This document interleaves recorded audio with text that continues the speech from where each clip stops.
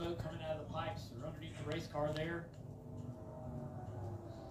Well, this caution comes an interesting time. It sure does. I mean, Wow. everybody's probably bringing their cars to pit road for tires. It's been quite a while since they. I mean, if you run five laps on Yeah. tires, you're coming to get them.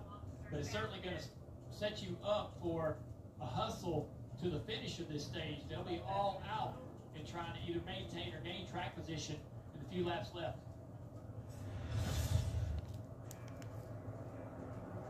See here, BJ McLeod down on the inside of the racetrack. Smart, having issues, get out of the groove, get off the racetrack, down on the apron.